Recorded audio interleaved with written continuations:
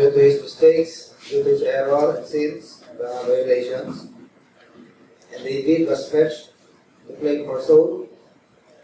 Maalala nyo, uh, parating nasisira ang mood ni, ano, ni King Saul.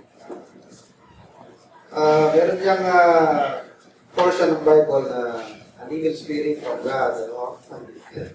Ano? Tama ba? An evil spirit. Uh, the evil spirit. Pero hindi mo yan Holy Spirit. Baka hindi nga capitalize yan.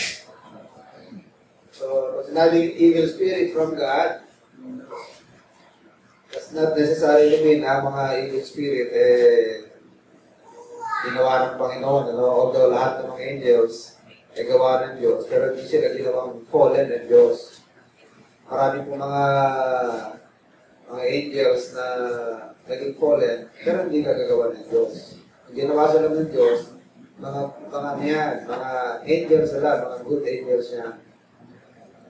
Kaso lang, because of uh, rebellion, sumama sila sa mutiny ni, ano, ni Lucifer, eh, sila na po yung mga naging fallen angels, sila na yung mga naging evil spirit. Mga evil spirits. Pero itong tinutukoy dyan sa Samuel na evil spirit from from God was in Saul, eh, hindi po yun yung fallen angel. Ah, tumutukoy po yan sa bad mood, no? Bad mood. Hindi maganda mood niya. Hindi maganda. Kung anong uh, pumapasok. Hindi, ano, pwede naman sabihin na uh, paranoid, ano ba? Ano ganyan. Oo, bipolar, schizophrenia. Ano ba? Oo, nawawala siya sa ano, sa tamang pag-iisip, ano? Pero hindi naman kasi lala ng baliw. Hindi naman ganun. Minsan hindi nawawala lang sa rason. Pag parang kagaya ng mga kalalakihan, pagka nasa ano, ay midlife crisis, sasabi ng midlife crisis. Eh. Kumbaga sa babae na mga menopause. Kaya nasa, nasa transition na, no? Medyo, pero mga chemical imbalance ang nangyayari sa katawan. Kaya hindi na mawari, no? Ang uh, mood. So yun, para masur, si King Saul, ah, ang, ang ano sa kanya, ang uh, pinaka-prognosis, pag sa kanya ng kanyang mga physician, eh, hanapan siya ng ano, musician, no? Sa music, pero itong ano eh, soothing effect, ano? Meron din naman music na pagka pinakinggan mo, eh, parang gusto mo mag-rebelde. Gusto mo magwala. Yan yung mga, yan yung mga pinapromote, ano, ng mga, mga rock, mga rock, music. Ang theme, mostly ng rock music, ano eh, kung hindi drugs, sex, rebellion, yun ano yun. Yan lang umiikot yan, drug, sex, rebellion. Pero mga mga songs ng araw, no? Alam niyo yung uh, Mother Mary came to me. Ano ba yan? It be, no? Oh, Mother Mary. Yes.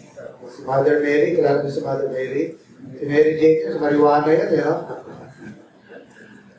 Marijuana, mga kanta ng araw na double meaning. Address actually sa sa ano sa drugs or kay Lucifer. Ewan ko, yung yung nabasa ko yung Candyman. Alam niyo ba yung song na Candyman? Di ba tao-tao na yung mga namin ng Candyman? Ka Candyman. Okay. Ayun. Si, si Satan yung tinutukoy doon eh. Yun ang mga, yung ano, yung pinaka picture doon sa album nung ano, nung uh, Hotel California. Eh, meron doon yung parang ang balcony sa hotel na may evil spirit, baka ganun. No? Ayun, uh, nire-ritualan nila yan, nire-ritualan. They invite the spirit to come into the records. Kaya pag binenta na, they sell by the millions, ano? Hotel California. Na, di ba? Ganda. Ganda ng music di ba? Pero iba pala yung ano niyan, iba yung uh, mensahe niyan. Sa title pala ng mga banda, ano, mga title ng mga Kiss. Kids in Satan's Service.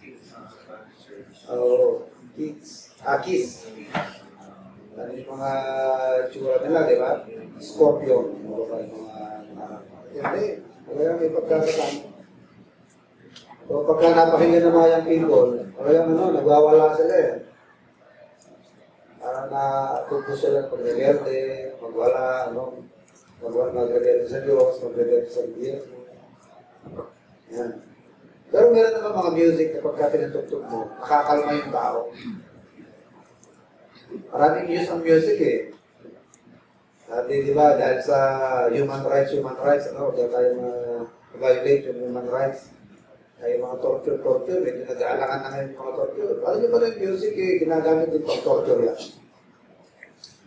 Tutugtugan ka ng sa kanta ng happy birthday to yung dalawang taon, tatlong taon, araw-araw. Aamin ka na eh. Pagising mo, happy birthday to... Eh, matulog mo, walang tigil, no? Aamin ka eh. Tama na, aamin na ako. Ano ba gusto niyo malaman? Pero mo, three years, wala ka narinig eh. Walang human right violation ka, no? Eh, narinig ako kahapon eh, pag-torture daw ng mga Chinese sa mga, mga araw, anong araw. Hindi magkikreate ng latay. Kiliti! Walang latay nga naman, pero matutorture ka. Dahil sa- Pinakamatay ka sa kiliti. Hindi kiliti pala yung mga ano, mga kinakasuhan para umami. Ikiliti ka ng kikiliti. So maraming use of music can use to worship God, for rebellion, to soothe our mood.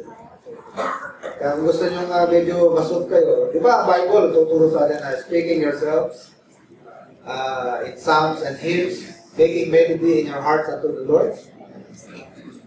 O kaya ano, dapat pagka singing, nagpa-participate tayo singing. Kasi na-memorize natin yung lyrics, di ba? Minsan, hindi nyo memorize yung lyrics, yung himig ka lang, hinaham nyo.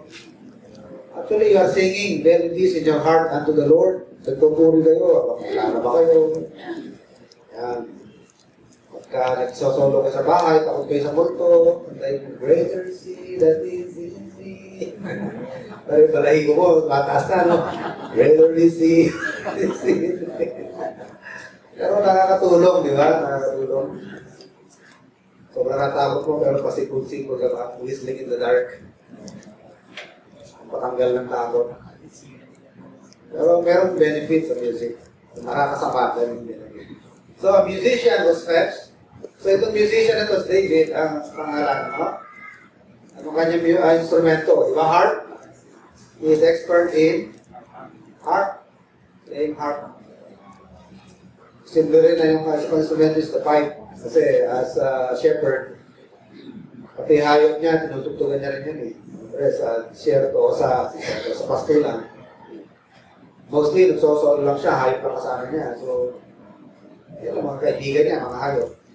Minsan, tinutugtugan niya rin yan. Ano? And then, uh, from time to time, sinusundo siya pagka bad mood yung hari. Then, who is David? Sa araw, sabi ng Diyos, Samuel, go to the house of Jesse and anoint one of his children.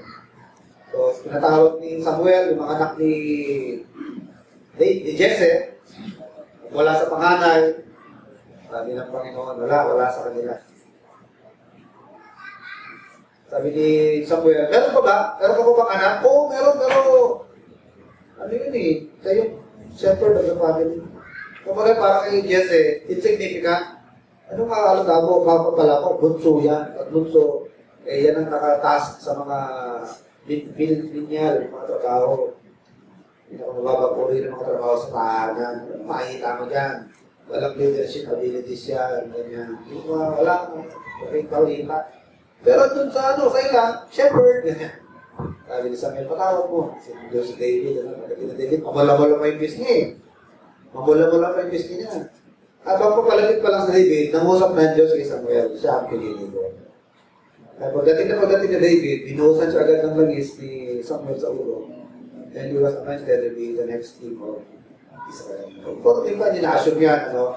Pero siya na yung choice to be the next king. Sabi ng Panginoon, for man looketh on the outward appearance, but Lord, uh, the Lord looketh in the heart. Kaya si David, he will really make a good king. Kasi, diba sabi sa Bible, to whom much is given, much is required. And uh, ang tapat sa maliit ay mapagkakatiwalaan sa malaki. Kahit na maliit lang ang trabaho ni David na pangalaga lang ng hayop, pero tapat siya, kami ko nga eh. Malaking bagay ang katapatan eh. Malaking bagay ang katapatan. You know? Ang ating pong uh, devotion leader kanina, nagturo about uh, being faithful steward. No? Napaka-importante po ng faithfulness. Tandaan niyo po, ang commendation ng Panginoon sa atin, hindi ba base sa success natin, kundi sa faithfulness. Ano ba yung faithfulness? Sticking, mag-stick ka lang kung saan anong in-instruct, anong bilin ng Panginoon. Pero sinabi niya, huwag tayo mag-iimbento. Panginoon, parang pabagal ang ministry niyo eh. Pabagal ang sistema niyo. Ano kaya ano, gamilan natin ng konting gimmick para lumawak agad ang gawain. Hindi naman nagmamadali ang Panginoon eh, di ba? Nagmamadali ba ang Panginoon? Lahat ng bagay ginagawa ng Panginoon in His own time. Kapag hinog na ang panahon, hindi pinipilit yan. Kahit ang kaligtasan ng tao, hindi po pinipilit yan. Meron lamang ibang mga grupo ng Baptist ngayon na sa kanilang evangelism, namimilit na. Kaya tawag doon, high pressure kind of evangelism. Pinipilit ang result, pinipilit yung resulta. Hindi naman dapat ipinipilit yan eh. Shotgun, parang basta nanliligaw eh. Shotgun eh, sinashotgun mo na eh. Ano, tatanggapin mo ba ako hindi? Alala ko yung kwento ng mali, ng isang uh, pastor dyan sa Cavite, no? Yung misis niya, terror. Pastor, terror din. Dating, uh, ano, police, retired police. O wala mo magtataas ang kamay, gusto tumanggap sa Panginoon. Tagal na rin invitation, wala pa rin nagtataas. Naidip na yung misis. Bakit ikaw ay, ay magtaas ang kamay? Gusto mo mapunta ng piano? Ilagita na yung mga bisita eh. Ikaw, ayaw mo mapunta na lagi. Gusto mo piano? Ba't ayaw magtaas ang kamay? Pilitan na yan, no? hindi ko nakukuha yan sa pagtaas-taas ng kamay. Hindi rin po yung nakukuha sa pangungulit. Tandaan po natin, as witness, our role is to simply inform. Diba? Ang role po natin, inform. Inform lang po tayo of the Savior. That the sinners have a Savior, and the only Savior is the Lord Jesus Christ. Ang role lang natin, ibigay informasyon. Ganun ka lamang po tayo. Hindi naman tayo nagliligtas eh. Paalam lang, lamang natin sa tao, nag-iisa nilang kaligtasan, ay ang paglapit sa Panginoon, pagsampalataya sa Kanya bilang kanilang Panginoon ang tagapagligtas. Pag-asa, pagdepende sa Kanyang nabuhos sa dugo. Hindi sa ating mabubuting gawa, kundi sa nabuhos sa dugo ng Panginoon na sa lamang kabayaran na matatanggap ng Diyos. Without shedding of blood is no remission of sin. Yan lang ang payment na makakasapat na matatanggap ng Diyos na kapalit, at bayad sa ating kasalanan. Hindi sa mabubuting gawa. Hindi mababayaran ng kabutihan natin, ang kabaitan natin, ng ating kasalanan. Dugulan ng Panginoon. So these people need to learn, need to know that the fact that only the blood of Christ can pay for their sins and cleanse from all their sins. So, ilang role natin din po. Okay. So, yung iba po eh, nabibilit, ano? High pressure form of evangelism. So David was anointed to be the next king of Israel. At siya po, he will make a good king because he is faithful. Bakit gano'n siya ka-faithful? Eh, iaalay niya buhay niya eh. Kung iba-iba yun eh, di ba naman yan? Dalawang hayop pa naman nakukunin ngayon. Kaya ngayon, baka di pa naman tira. Ano ba mahalaga buhay ko? Buhay ng hayop. Hindi gano'n ang mentality ni David. Nasa bunganga ng leon, inaagaw pa niya. Sabi niya, inaagaw ko sa bibig ng leon. Naisubo na ng leon, inaagaw pa niya. Inatsak niya yung kamay ng leon. Ginagawa niya souvenir. At one time, oso naman ang lumusog. Chinap ni David. Ano, chinap ni David yung kamay ng oso. Ginagamit, ginagamit ng pangamot. Pag nakangatay likod niya. Pinakita niya nga kay ano yun, kay King Saul, ebidensya. Ang hari. Niligtas ako ng Panginoon sa kamay ng leon, sa kuko ng leon. At sa mga oso, nalamusog ang hayop. Ginagawa ko lang pangamot yun. Kaya, maging tapat po tayo, kapatid, ano? Maging tapat. Kahit maliit ang ating task, maliit ang ating responsibility, kahit gawain yan sa church, responsibility sa church, o responsibility sa trabaho natin, gawin po natin ng may katapatan ng lahat ng bagay. Sabi nga, not as men pleasers. Do all things as unto the Lord. Gawin natin ang lahat ng bagay na para lang sa Panginoon. Ang boss natin, employer natin, ang Panginoon. Kaya nakikita ka o hindi, motivated ka magtrabaho. Uh, kapag ka nakita yung katapatan po natin, eh, makakakatiwala tayo ng mas malalaki pang mga responsibilidad. Pero kung sa maliit, wala. Meron ka ng pagtiwalaan sa kanila. So David, from being the shepherd of the sheep, he became the shepherd of the nation of Israel. So yan ang isang quality na tinitingnan ng katapatan. Sa lahat ng bagay, katapatan.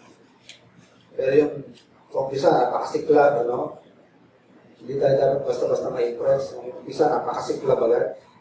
Yun nga kasabihin ng mga pantas ng Pilipinas, di ba? Dingas kugon. Yung mga kasabihin na yun. Dingas kugon. Di ba? Kugon, yung napakalingas niya, sobrang dingas. Pero sandali lang. Maraming Krisyano ganyan din, eh, dingas kugon. So, umpisa, siklab-siklab. Pero, ano yan, hindi doon pa pakikita ang tunay. Yung mga konti, tay-tay. Pero malalaman yung tunay na karakter ng tao. Paano kung matagal na? Yeah? Ngayon pa rin ang ginagawa. Yun pa rin, paulit-ulit. Gagawin pa rin ba niya?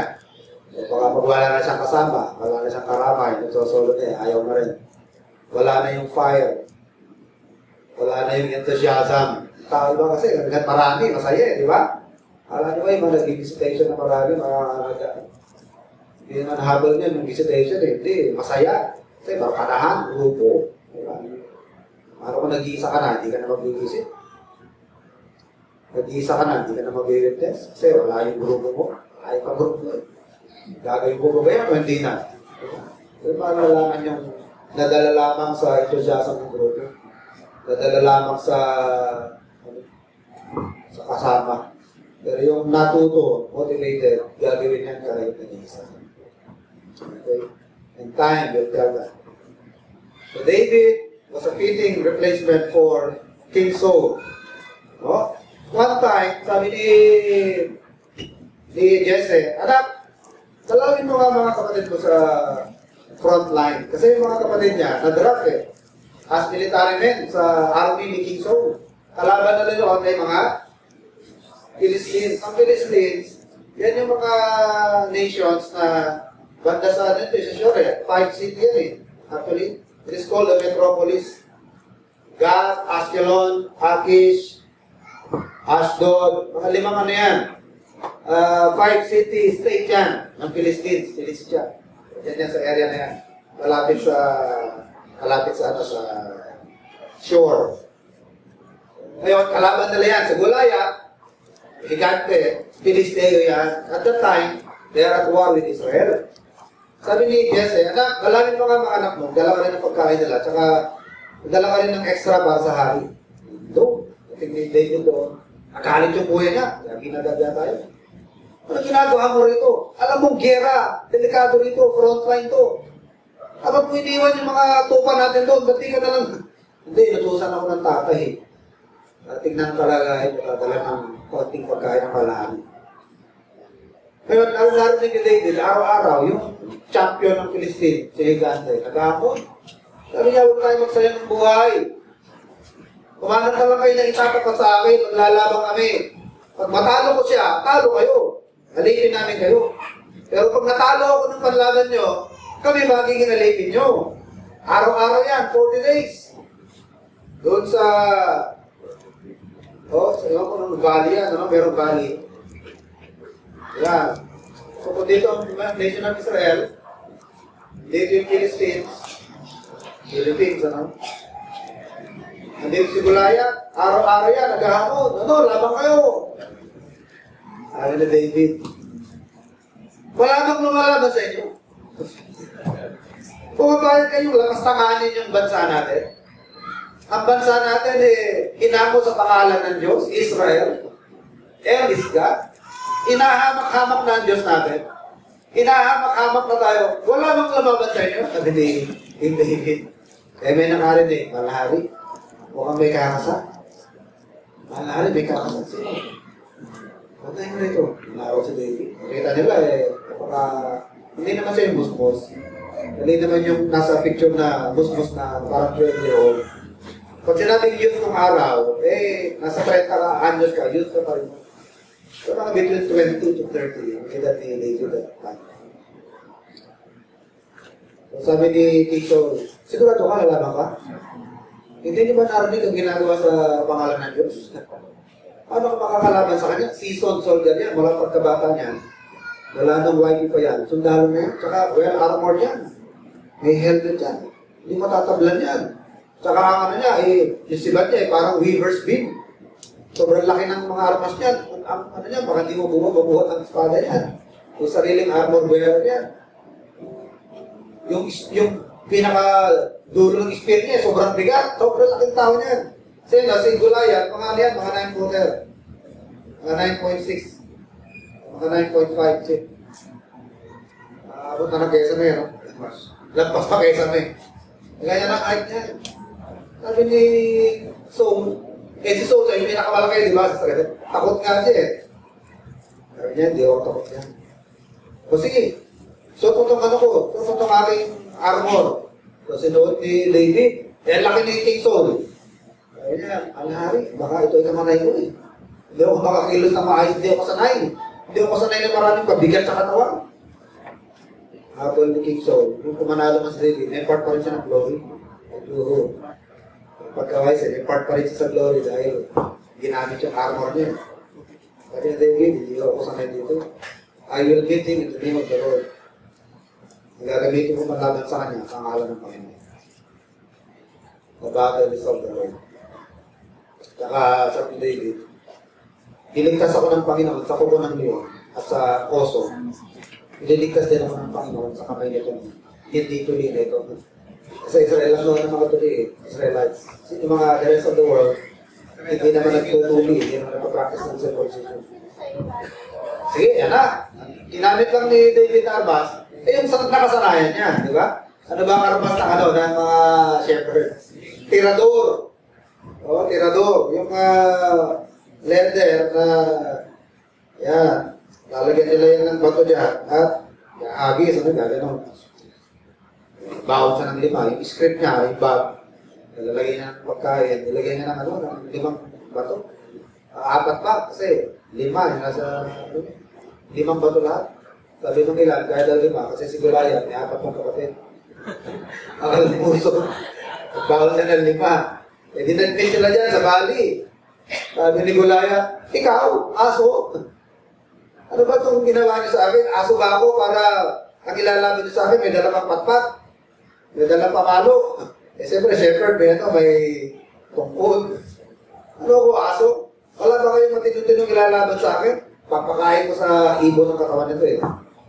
Sabi ni David, katawan mo, papakain ko sa ibon. May dala espada, spear, but I will fight you in the name of the Lord, in the name of the God of Israel. So, forma na, forma na. Ayun, the Lord directed the stone dito sa sa portion na hindi natatakpan ng ano, helmet ni, ano, ni, between the eye, between the eye, yun. Saka malupit doon, lumubog yung bato. Pinalubog ng Panginoon yung bato para bang ano eh. Alam mo yung tamtas, nakakapag nakakamatay. Lagyan mo ng tamtas, pupukin mo ng paso. Parang ganun yun eh. Bato lang pero tinalubog ng Panginoon eh. Tinalubog ng Panginoon yung ano, yung bato, no? Pagsak sa Goliath. Tapos kinuha ni David yung sariling espada niya. Yun ang pinangkat sa ulo niya no, ni Goliath. Inakat niya ngayon niya. Hindi nanginig sa takot ng mga Philistines, takbuhan sila. Oh, ew. Ano yan? 1 Samuel 17. Basahin yan, gaganda niyan may story niyan. Ganda po niya. Sayang. Hindi niyo malang nababasa sa Bible. Ano? Takbuhan sila, habol naman ng mga Philistines, ah, mga Israelites. Pagbalik, eto na. Nagkakantahan na ngayon mga kababayan, city sa syudad. Eto na si Saul na pumatay, dumating, dumating na sila. Si Saul na pumatay ng kanyang libo-libo. At eto naman si David na ng laksa-laksa. Iba yung libo-libo sa laksa-laksa eh. Iba yung thousand sa ten thousand. So, laksa-laksa. Mas marami yung inascribe kay David. Ano nangyari kay Saul? Nagselos. Wala na ako. Nag-iba na yung timpla ni Saul kay ano kay David. Sabi niya, susunod nito. Kaharian lang i-ascribe sa kanya. Ngayon, victory na-ascribe niya sa kanya. Ang 10,000 in-ascribe niya sa kanya. Hindi magtatagal. Ang kaharian lang i-ascribe sa kanya. Bibigay sa kanya. Kailangan mawala siya sa landas ko. So, wala noon, pinagbibigyan niya pa kayo sa inyo. Pero eventually, naging son-in-law ni David, di ba? Napakasawa niya si Michael. Uh, anak ni, pero hindi sila nag-anak ni Michael. Si, sawa, anak ni King Saul. Ngayon, napapaghalata ng anak ni Saul, si Jonathan. Pero anak si Jonathan eh. Kasi ano si Saul? Si Michael, tsaka si Jonathan. Marami pa, pero dalawa lang yung napangalanan sa atin. Si Jonathan, siya yung ginuguro to be the next king ni King Saul. Pero sa Diyos, ang kanyang gusto ni pala si David. Si Jonathan, nahalata niya, para pag-ibig niya, na siya yung, na si David ang ipapalit. So, hindi niya kinakita yun, hindi niya, hindi niya ina, inasam na maging hari. So, naging magkaibigan sila ni David. They became, in fact, very close friends.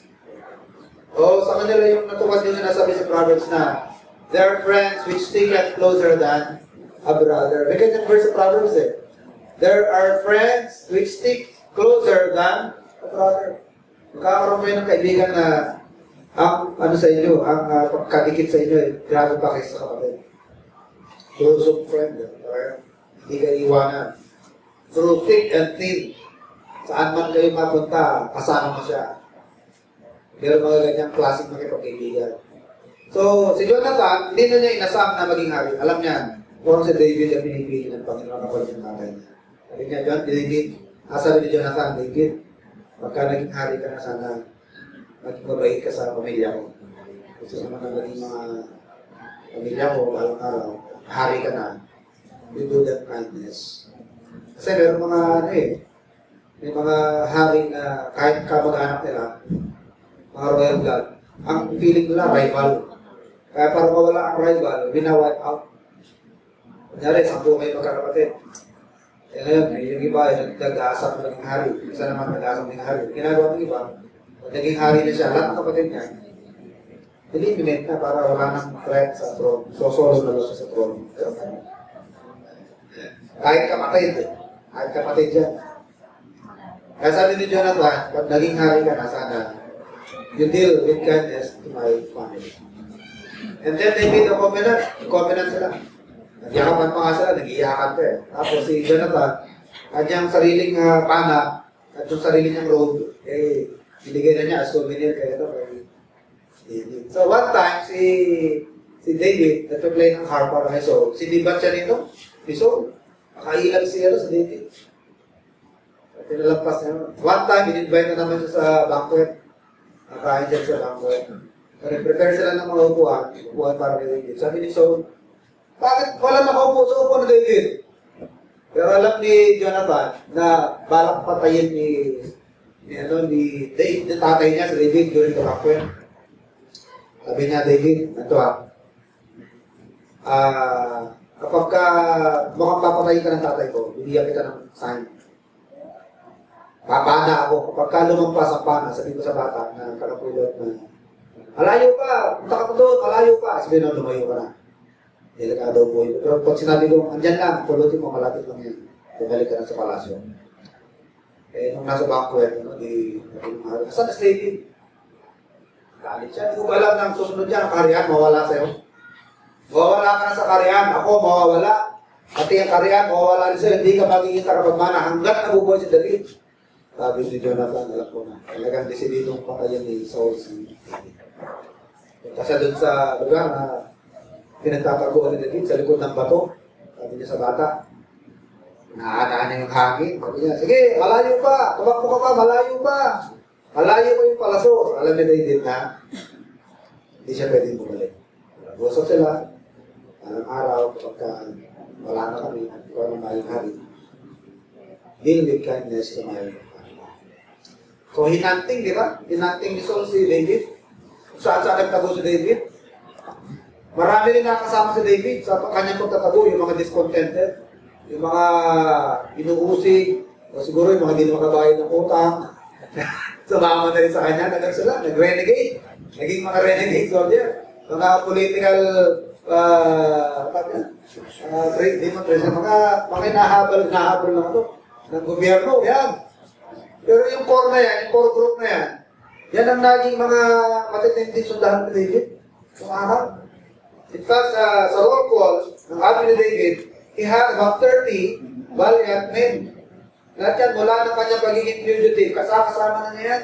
Isa diyan ang pangalan na Dino, pumatay ng 800. Ang gamit lang, tungkod. Alam nyo, sa Dragon Ball silang nangyayari yan. eh. Na tunay na buhay, nangyayari yan. Talo yun si Eugene. Ito, tunay ito eh. Talo niyan si Jet Li, tsaka si,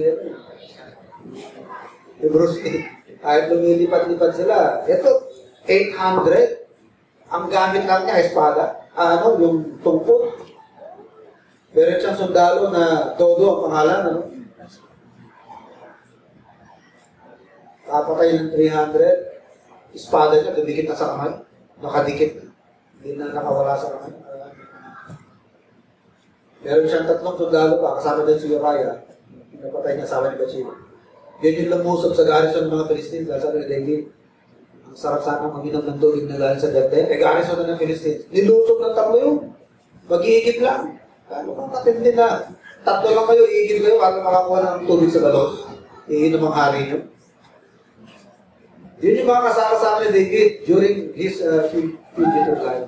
Tago siya sa cave of Adulam. Tapos si si Saul, kahanting sa kanya, kapa, kapa, Eps. Doon ako sa kuweba, doon ako Eps. Eh, doon nagtatago sila David. Sabi ng mga kasama David, ayan na, binibigay na sa iyo ng Diyos.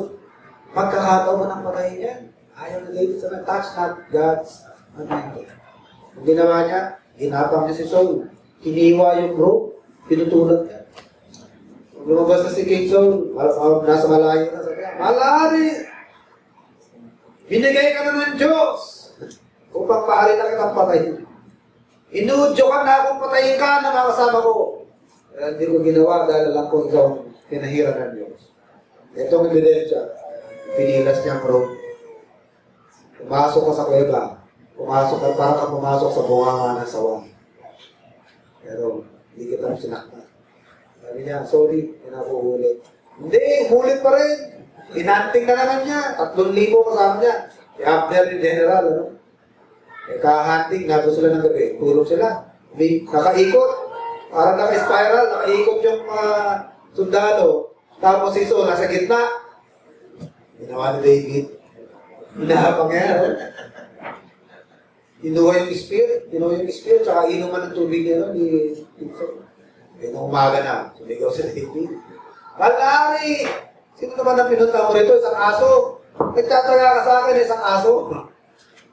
Nagalitan niya si Abner. Wala kang kwentang general. Naatasan ka mo, bantay sa hari mo, pero ano ginawa mo? Ginabayaan mo siya. Eto, oh, dala ko spear ng mahal hari. Saka iinuman niya ng tubig. Dapat patayin ka eh.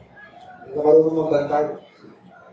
Binigyan ka na ng, binigyan na ako ng chance ng Diyos na patayin ka, pero hindi ko ginawa. Wala akong balak na masama sa iyo. O mahal na hari. Sabi ni Saul, sige, sorry na, hindi na ako uulit. Pero alam na hindi uulit yun. Parang tayo rin, di ba? Pray ng pray ng Panginoon. Sorry, hindi na po uulit. Pero uulit, di ba? Bahala niyo si Saul lang, ha? Tayo rin, paulit-ulit, di ba? Tama? Di ba? Maraming beses na nagsorry sa Panginoon for the same sin. Ulit-ulit. Sabi David, hindi ako titigilan ito. Doon siya nagtago sa, sa Philistines. Doon siya pumunta sa Philistines. Sabi ng mga Philistines, di ba ito yung inaawitan nila na pumatay ng laksa-laksa? Di ba ito yun? Nakakilala siya ng mga Philistines. Ano ginawa ni David? Nag-asal baliw. Natulog na laway niya sa barbas niya. Drawing-drawing sa wall. Sabi nila, ano si David? Baliw yan eh. Pwede ako dinala ng baliw dito. Sabi ng hari, palayasin niya. Pero yung mga nakakakilala kay David, alam nila si David yung si David, para lang maka-escape, nag-asal baliw. Hindi siya tumira. Hanggang sa naging kaibigan niya isang hari sa Akish. Ko pangalan niya. Ano, si, ha, ha, the name is Akish, Hari Akish. Sa isang uh, lugar, sa, dito sa rebellion city states ng Philistia. Ngayon, tumira doon si David sa Ziklag. Yan. Oh. So, nakikipagyera pa rin noon ng Philistia against Israel. Eh, wala na si David. Malayo na, nasa teritoryo ng kalaban. Actually, gusto nga lang, sanang lumaban ni David eh. Sa side ng Philistines eh, di ba? Para ma-prove yung loyalty niya. Hindi nila pinayagan ng Panginoon. Kasi yung iba mga hari sa ibang city states, sabi nila, wag, baka maganyan, baka mag palit ng loyalty. Baka bigla pumampi sa Israel. So hindi na siya pinasali. Pagdating ni David sa bayan nila, sa Siklag, sunog na yung Siklag. Yung mga pamilya nila, tinangay. Inaabol na David yun. Tapos, yung mga tao, sa sobrang panlulumo, hindi na makahabol, wala na lakas. Sabi ni David, yung hindi na makatakbo, iiwan na, bantayan ninyo yung kagamitan.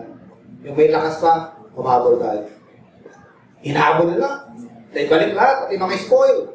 Sabi ng mga humabol, uh, David, huwag natin bigyan yung mga to, mga taiwan lang, mga tamad yan eh, mga hindi naman sumama sa laban. Sabi ni David, kayo mga anak ng demonyo. Kayo mga anak ng demonyo kayo, sabi niya. Huwag kayong masamang asal. Ha? Yung sumama sa gera at yung naiwan sa staff, naiwan sa kagamitan, pareho lang ang nakukuha. So, naging batas yun from then. Yung mga naiwan, nasa RNR, at yung mga nasa front line, eh pareho lang ang sahod. Pareho lang ang makukuha. So, during the war between the Philistines and the nation Israel, napatay si Saul and Jonathan sa Mount Gilboa. Kung uh, tama ko ah. Mount Gilboa. Napatay sa Dave si Saul. Kung may tama na si Saul, sabi sa armor bearer niya, tuluyan mo na ako. Kasi mas nagiging mamatay ako sa kamay ng espada ko o sa espada mo kaysa abusuhin ako ng mga kalaban. Yung armor bearer niya, takot, di ba? So, ang ginawa ni King Saul, siya mismo nagsaksak niya. Armor bearer niya, wala na yung hari niya. Nagsaksak to. Suicide. Eh, Jonathan naman, even after fighting valiantly, eh, tinalo talaga sa power ng mga Philistines. So, yung katawan ni King Saul, kinap yung ulo niya, yung katawan niya, ihina sa wall. Kumbaga, sinibat niya, binitin sa, sa wall. Para display, display sa mga Philistines na wala na ang Israel, wala na ang nila. So, some mighty men of a certain place, meron yung mga mighty men na ano eh, lumusok, recovery pa ako. Lumusok nila yung kinuha na nila ako. Alaman niyo ito David, ano? So, matapos yung mapag, uh, makapag-mourn sa death of Saul and death of Jonathan. Dumating na yung mga elder ng Israel. Wala na po ang hari, kaya na po ang pumalit. So David was established as a king. Makabasa niya sa 2 Samuel, 1 Kings, sa ganyan niya. Ngayon, nung habang uh, nanunungkulan si David, bigla niya naalala, sabi niya, ano ba bang kamag-anak na natitira siya? Si Saul, si Haring Saul, that I might show kindness. Di nag-inquire sila, nag-research sila. Meron sila na tinig. And the name is Mephi Bosya. Mephi Bosya. Anak yan ni Jonathan. Bali apo ni Saul. So itong uh, nangyari naman between David and Mephibosheth, this is a very good picture of our relationship with God. Nakita niyo mamaya ang similarity. Kung ano yung, sabi ko nga eh, whatever things written aforetime were written for our learning. So illustration din siya ng ginawa ng Panginoon para sa atin. Bakit? Itong si Mephibosheth, eh kung tutuusin, patagal na siyang inuusik ni, ano eh, si David ng angkan ni Saul, eh, di ba? Eh ngayon, si David na nasa posisyon, di ba? Mephibosheth is now at the mercy of David. Anything can be done to him by King David. Kahit anong bagay pwede niyang gawin at meron dahilan, justifiable ang gagawin ni David. Una, ang kanito ni, ano, ni Hari Saul at nagbibinti sa kanyang buhay. Actually, meron pang isang anak si ano eh. Si, hindi ko lang alam, anak ni Saul o anak ni Jonathan, Ishbosheth. Narinig niyo na ba yan? Ishbosheth. Ishbosheth. Ish, Ishbosheth Ishbosheth. Ayan, Ishbosheth. Yan. Ishbosheth. Actually, pinreclaim niya ang sarili niya na hari eh. Si Abner, ang kanyang general, pero na-overpower din siya. Nag-jowa. Okay? So, pero itong si, ano, si Mephibosheth, na kay David ng lahat ng dahilan na pwede niyang puksain si Mephibosheth. Meaning, he is now of the mercy of David. But this time, the throne of judgment, pwede na sanang sentensyahan ni David ng kamatayan, sino bang napitirang angka? Dahil magpo-post pa yun ng threat, kagaya na ginawa ni Ishbosheth, nag-post pa ng threat sa kingdom ni David yan eh. Maaari pang maguluhan niya, maaari, maaari pang maka... Di ba? Kaya kami na lang hanggang ngayon, hindi matapos-tapos ang paguluhan dahil sa may mga ibang power na nag-play. Hindi pa talaga totally sinurrender yung loyalty sa Philippine government. Alam claim nila, it's a private land.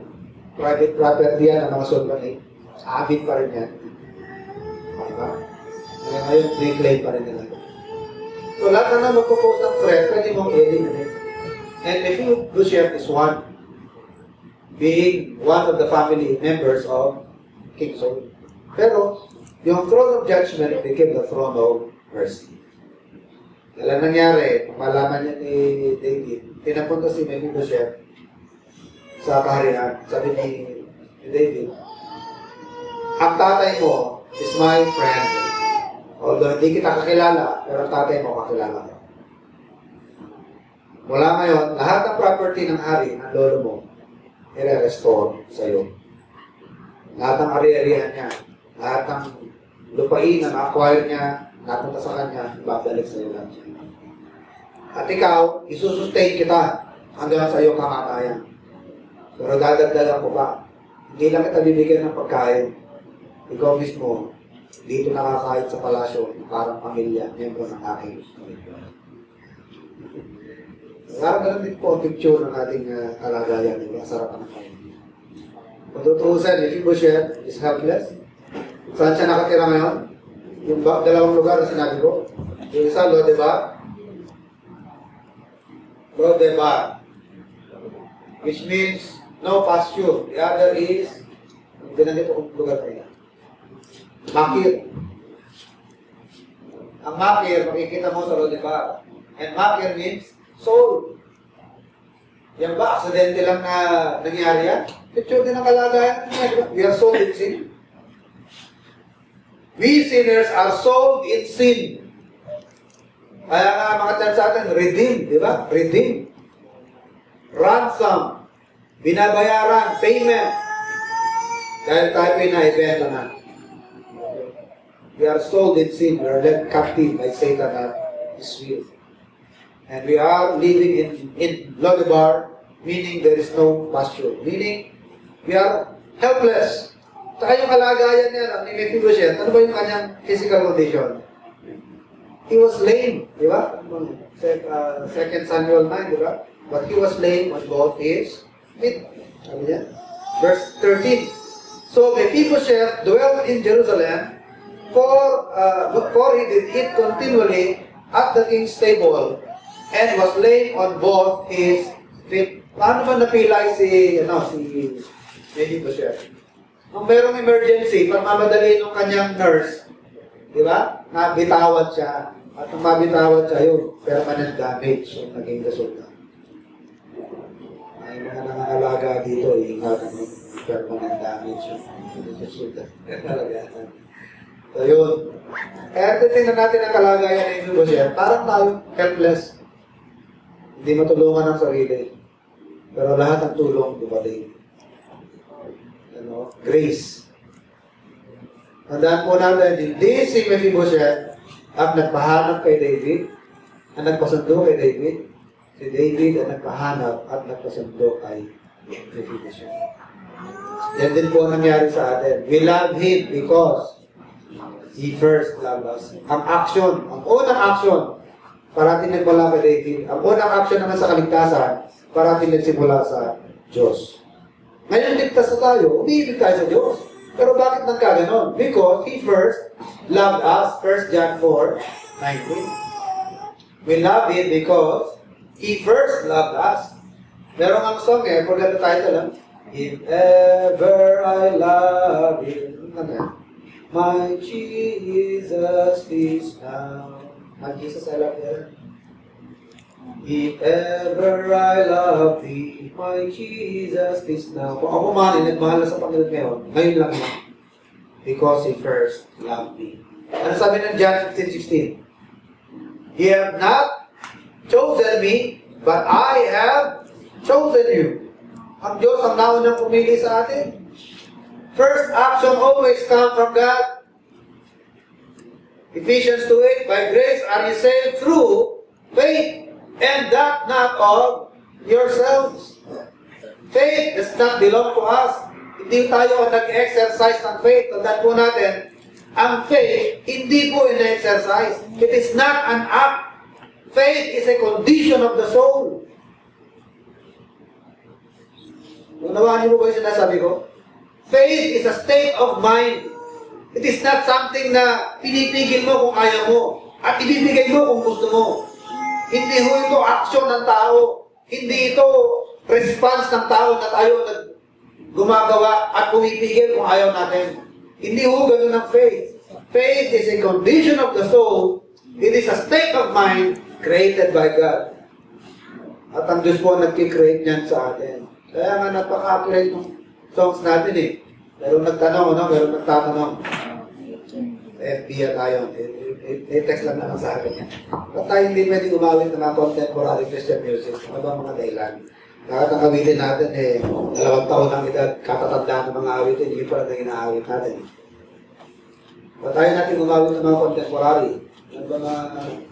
Hindi na updated, ano ba mga contemporary na? Hindi, ay sa Christian song, mga contemporary Christian music. Praise, galing sa praise.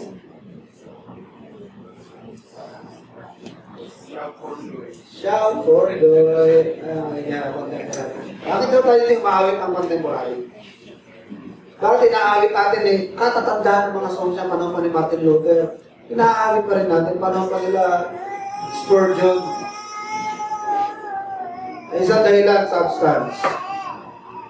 Ang mga contemporary Christian music, halos wala ka ng substance na makukuha. Isang linya lang na mensahe, paulit-ulit. Saka marami dyan, yung mga gumagamit ng mga pronoun, he, him. Ako, careful ako dyan sa mga songs na hindi, hindi, hindi dinidiretso ang pangalan ng Diyos. Hindi dinidiretso yung uh, Jesus, or Christ, or God. Ang ginagamit puro he, him. Hindi mo malaman, baka yung nagpo-compose yan eh. Sa boyfriend niya pala, ina-ascribe yung song niya. Yan ang mga contemporary Christian music. Hindi lang yung lyrics, ang walang masyadong substance, sometimes including the music itself, yung vehicle, yung yung himig na pinaglapatan ng yung musika na nilap, uh, na pinaglapatan ng titik. Iba yung titik eh, sa, sa musika. Yung titik, yun yung lyrics. At nilalagyan ng musika. Yun ang, kino, yun ang uh, ginagawa ng mga kompositor. Iba naman yung lyrics is. So, palpak na yung lyrics, palpak pa yung music, dahil ang music niya, eh, meron po ako narating dyan sa lugar sa Tugigaraw, no? Nakituloy ako sa bahay nila eh, mga Southern Back. Nag-jamming sila. Pastor, saka yung mga uh, yung tuloy. Hindi ko naman alam yung kinakanta nila, pero pinilit ko pakinggan, Christian music ko lang. Christian, dahil sa lyrics. Pag pinilit mo pakinggan, pero pag hindi mo talaga intindihin, alas wala kang intindihan. Kasi rock. Ala ko, rock ang kanilang kinadyan. Sabi ko, ba't ganyan ang mga music nyo? Eh, ano gagamitin mo? Yung rugged cross. Eh, paano mo marireach yung mga kabataan niya yung panahon nito? Yung katwiran nila. Paano mo raw marireach yung mga kabataan? Eh, ang in sa mga kabataan ngayon, rock. Diba? At tanong, hinahabol-habol ba natin ang kabataan? Naghahabol ba tayo sa kanila? Hindi naman tayo naghahabol eh. Mag-i-inform lang tayo, di ba? Ang gabi nila, hindi. Pero hindi tayo naghahabol-habol. So, parang ano yun eh. Parang ah, masarap na pagkain, ilagay mo sa rinola. At sabihin mo, masarap na, na, music, na lyrics, maganda lyrics. Ang, ang music mo naman eh, rap. Eh parang pagkain masarap na sinearn mo gamit arinola. Eh kakain pa niya. Matatanggap pa ng Diyos. Kailangan, yung lyrics po natin, tsaka yung music natin, medyo compatible sa sa holiness ng Panginoon, right? It must be compatible with God, with the character of God. Eh kapag ka dinaan mo sa rap, confusion yun eh. Di ba sabi ng Bible, God is not the author of confusion. He is the author of order. He is the author of peace. Kailangan yung kanta natin nagre-reflect ng peace. Kaya kakanta natin, When peace like a deep. Talaga naman, no? peaceful na peaceful, no? Pang rest in peace. uh, abandon my way. Peaceful, soothing. Pero yung mga contemporary Christian music, wala eh. Dugo mo yung binubuhay eh. Makapaintak ka eh. Di ba? Hindi mo na ninanamnam yung ano eh. Ang after mo na yung ano eh, yung intak, makapaintak ka. Hindi na yung mensahe. Eh kapag kagamin na po yung music natin, mas sinabol mo pa yung music kaysa sa lyrics. Diba? Sama mo yung... Kasi ang habol natin yung mensahe.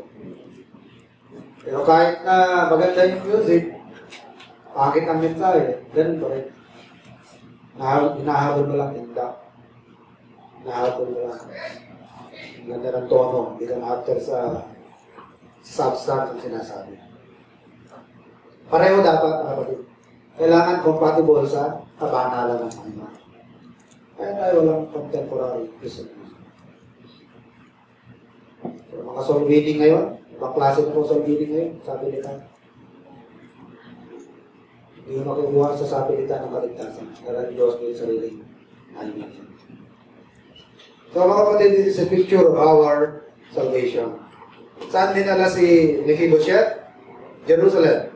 From Lodebar, from Makir, no pasture, sold, he was brought to Jerusalem. And what's the, what's the meaning of Jerusalem? Ano meaning ng Jerusalem? Salem, di ba? Salem. Shalom. Di ba? Mga, mga Jews, Shalom. Peace. The city of peace. Dinala siya sa kapayapaan. kapayapaan. And Mephibosheth was sustained by the king. Pero yung kindness na pinakita kay Mephibosheth, was it actually for the sake of for the sake of Mephibosheth? Or for the sake of another? Yung kindness na pinakita kay Mephibosheth, was it for the sake of Mephibosheth or for the sake of another? It is for the sake of Jonathan. Alam niyo ba kapatid yung kindness ng Diyos natin, ng Diyos sa atin eh. Hindi, hindi mismo para sa atin. It is only for the sake of Christ. Ephesians 4 verse 32. For Christ's sake. Alam-alam. Kaya nga sa panalangin, di ba? We pray all these things for the sake of Christ. Because it's only through Christ that we have access on God. Wala tayong karapatan sa Diyos kundi sa Panginoon. No man can come unto me. No man can come to the Father but by me. Hindi tayo magkakagain ng access, ng entrance, ng audience sa harapan ng Panginoon. We cannot take audience to the Father kung hindi sa Panginoon. Sabi ng 2 Timothy 1.5 or 2.5, there is only one mediator between God and man, the man, Christ Jesus. Wala naman po makakalapit sa atin sa Ama kung hindi dahil sa Panginoon Jesus. At tayo po'y napatawad sa lahat ng ating kasalanan dahil sa Panginoon Jesus na nagbayad sa ating kasalanan.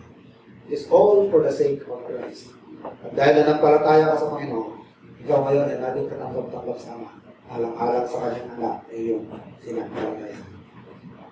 So it is a very good picture of our salvation. Mephibosheth was lame on both his feet. He was helpless. Kagaya po natin, we are helpless in our sin. Hindi po natin matutulungan ang ating sarili. We are dead in trespasses and sins. Lahat ng action ay mula sa Panginoon. Ano sabi ng John 1.13, which were born Not by the will of man, nor by the will of the flesh, nor the will of blood, but by the will of God. Tayo ba nagpasya na born again? It's the will of God. Hindi magulang, hindi kapatid, hindi rin tayo nagkapasya na mag-born again tayo. By the will of God.